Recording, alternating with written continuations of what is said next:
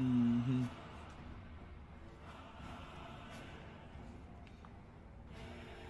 All right, ladies and gentlemen, let's see if the setup this time. It looks like it looks like Chocolate Paladins is taking the same exact setup as Holy Crusaders here, going for a hard A defense.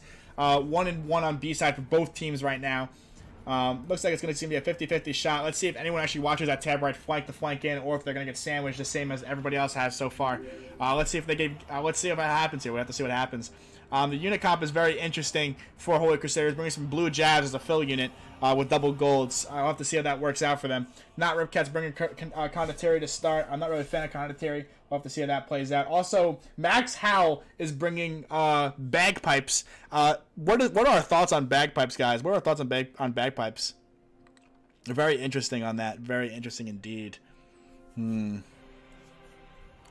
We'll have to see. We'll have to see. Julian Mintz gifting out sub out to Adam Zeddy. Adam Zeddy gifting the, giving the gift sub. That's very generous. Honestly, well deserved, Adam Zeddy. You deserve that sub, bro.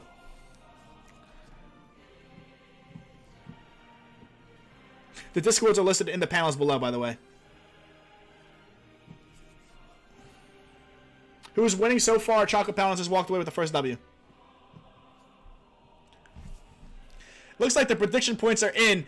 283,000 for Holy Crusaders this time around to Chocolate Paladins 154,000. We'll have to see how this plays out. If Chocolate Paladins does take the L, someone's getting a massive payout confirmed.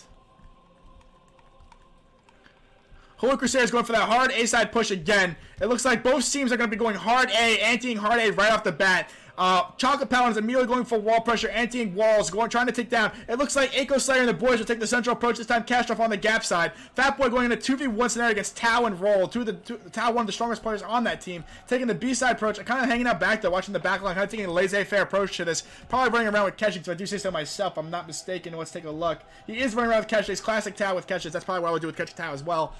Uh, looks like Gap and Central will be the play here. Wall side being pressured this time by by Chocolate Paladins. Let's see if they actually set up here. They do not have a kill box same in the same little box. They have a small kill box, but most part they're pretty close to the walls. Really focusing the walls at this point in time.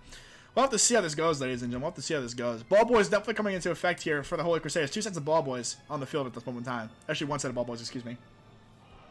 Two sets of flames out for Chocolate Paladins. They are not taking any risk out here. They're down. They want. They do not want to lose. They do not want to lose A or B. They're they're willing to commit two fa- to flames to this. That's a lot of flames, guys. Looks like a much slower play this time by Holy Crusaders. They're not pressuring as hard. They're not going right right on in. Uh, taking a much slower approach. We'll have to see how this plays out. Adam Daddy also getting out of the Daddy Say very generous, but thank you so much. Very generous, brother. It does look like at this point in time, Holy Crusaders is going gap side slightly, but Central is not being pressured at all. They have guns set up on the alleyway, shooting down onto the Central approach. Nice anti there by Chocolate Paladins. These sentries won't mark anything coming through, and they can't jump up there easily. Uh, they look like they're going to climb ladders a little bit. Gap side being pressured. Flanking play on Gap side right now. This is the main play right here, ladies and gentlemen, happening for Holy Crusaders right now. Claymore's charging in from the flank. Pal Palace Guards on the other side of the flank. Reaper's trying to anti it. Um, they're just kind of tanking it. Double flames shooting out already. They are they're already working double flames on the gap, kind of prioritizing gap here. Central being pressured right now by Holy Crusaders. Good play by Holy Crusaders. They're too focused on gap. Holy Crusaders going for a full central push, ignoring all the shit on the side. Those flames are smoking them. Big flame play right there. We'll have to see how those flames play out. They're definitely going to stun some units. Not enough. It's just not enough, ladies and gentlemen. The momentum for Holy Crusaders here might be just enough. Flames going back They're firing Flames back. It's a flame on flame scenario here, ladies and gentlemen. Holy Crusaders going for a hard push here, going for full commit. Gapside needs to make a play there and sandwich them. Central's in at this point in time. They have guys in the back line with Javelins shooting at them. Fort Brock is trying to get up in the fight, trying to make a play here. Impacts are banned, so they don't have impacts ready. Tau coming with Keshiks. He makes a flanking play and right into Fort Brock. Yes, unfortunate for Tau. It does look like Chocolate Paladins is sustaining A, though. Though it is a 50-50 trade. First trade of the day, finally going off about time. Does wipe out some of Tau's remaining Keshiks. Uh, there are units on the javelins on the back line, pikes on the back line harassing as well. It does not look good for Holy Crusaders here. Um, they are going to get pushed out for sure at this point in time. They did not win this exchange. Uh, the flank was just too much. They are going to get cleared there. They do get cleared and confirmed cleared. Chocolate Paladins does get a chance to reset up. A lot of flames right there. Keshiks coming in. Even though those Keshiks did get wiped, they did do enough damage to make it happen.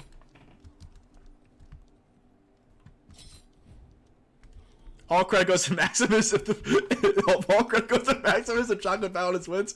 I have questions. I have questions. It does look like Chocolate Paladins does decisively win that exchange, putting Holy Crusaders back in their spawn. Uh, the loss, they, they, they do take a loss. They're only down 100 units. It's still anybody's game at this point in time. They can come back from this 100%, ladies and gentlemen. Another trap going off, kind of like a wild trap. Not really sure where the shot was for that one. Holy Crusade is getting set back up, taking it slow. I'm not really sure who their shot caller is here. I don't think uh, I don't think Chocolate Paladins really knows what they're doing either. B-side gate is still close, so they don't have any pressure on B-side. B-side has no worry, is no mind, no not in the mind of Chocolate Paladins at this point in time due to the gate being closed. Um, so they have time to have full 15 commit to A and kind of prioritize A at all times here. Gap and A being pressured again.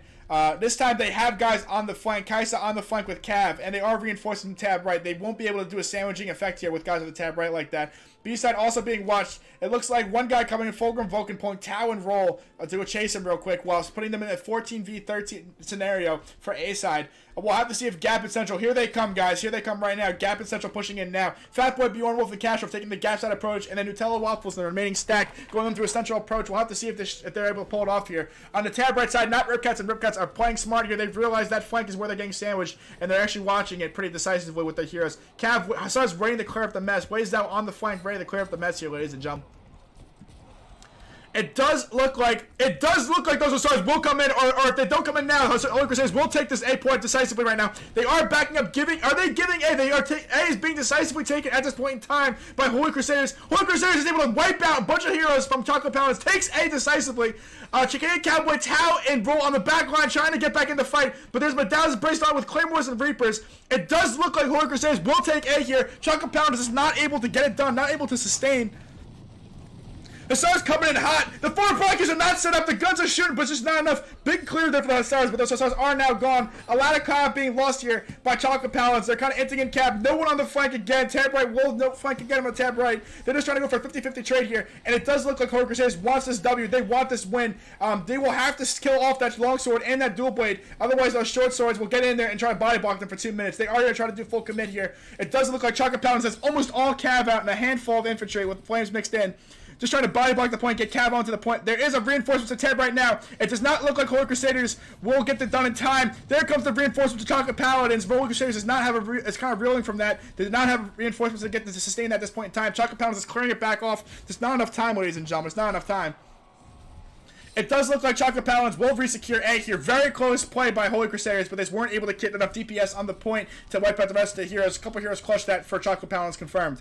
Um, at this point in time, it does not look good for Holy Crusaders. They're fighting a 50-50 scenario, but only a minute 30 on the clock. They only need a second. They only need one guy to make a crazy play, but it doesn't look like they have. I mean, the unit, the units, the unit count is definitely in the favor right now of Holy Crusaders. They can come back from this, ladies and gentlemen. They need to rally. They have a minute and 25. It ain't over. It's not over, ladies and gentlemen. Holy Crusaders can come back from this. They can make a play. All they need is one big wipe, and they're in. A lot of units on this point. They are capping B, half B for free. They have half cap B for free. Uh, Kokex is there getting some free gains. Two more heroes coming to support. Let's see what they have. It doesn't look like they have Keshiks. They're not going to be able to get done. A is definitely secure at this point by uh, Chocolate Paladins. They don't have enough time, ladies and gentlemen. Um, they need to press W a little faster. The unit count is still very even. If they get a point here, it's still anybody's game if they get A or B here.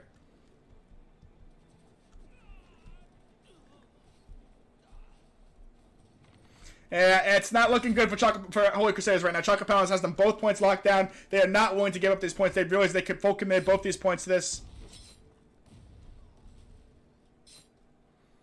Yeah, it's definitely going to be, I think, Holy Crusaders' uh, loss here, ladies and gentlemen. Uh, we'll have to see. They have 30 seconds to make a play, and they got not a lot here yet. And A is being heavily, heavily watched at this point in time.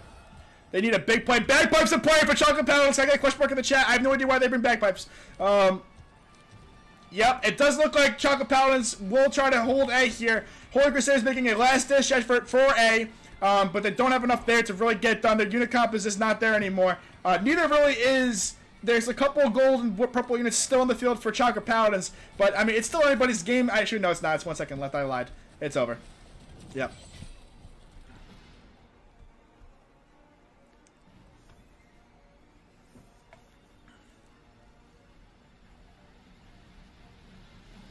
Yeah, it's over, ladies and gentlemen. Unfortunately, it was a much closer fight. Uh, Holy Crusaders and Chocolate Paladins really duking it out for A and B there. Uh, very even unit count in the end there. Um, a lot of inting by Chocolate Paladins there for a little bit. Holy Crusaders definitely had an opportunity or two. and just couldn't get it done. They just couldn't get it done. Let's play some ambient music. The war is over, ladies and gentlemen. The war is over. You know, I have big respect for both these teams. It was a very uh, a very hard fight for both teams involved. Uh, Chocolate Paladins came to play tonight, ladies and gentlemen. They took away the dub decisively uh, 2 0 against. Uh, against Holy Crusaders. Chocolate Paladins taking the 2-0 against Holy Crusaders. Uh, Tau walking away with MVP here, followed by Colt 45 and Pringles. Bigger Apple taking the MVP for Holy Crusaders with Randon and Gregorius following up. Uh, both teams, much much more even uh, troop count. If you notice the unit counts on this fight, much more even. Unfortunately, it looks like the bottom bracket. Uh, it does actually looks like Fulcrum did better Canadian on the bottom bracket there for sure. Um, you know, this could this fight could have gone either way. I think Holy Crusaders got pretty unlucky on that. Um, there was a couple times they could have really got it. It was a very close game. If they had taken A or B there, I think that could have been anybody's game. Um, very nice try. Bag play play carry. I don't know about that, but it was a very nice try by both teams. Mad respect for both teams. Um, shout out to Chocolate Powder and shout out to Holy Crusaders. NA versus NA. A lot of egos on the line. It was honestly an honorable fight. I have no. I don't think there'll be any self in that. That was an honorable fight. Um, we'll have to see here. As you can see, there was a lot committed to A. I mean, look at look at the post battle analysis. Look at all that was committed there. As you can see, also by B. I just pointed at the map like you guys can see it. Honestly, I got a question mark in the chat right now. Like, dude, I literally just pointed at B, and I'm like, you guys can't even see my finger pointing. Honestly, I should be a teacher, bro. I get like a PowerPoint board and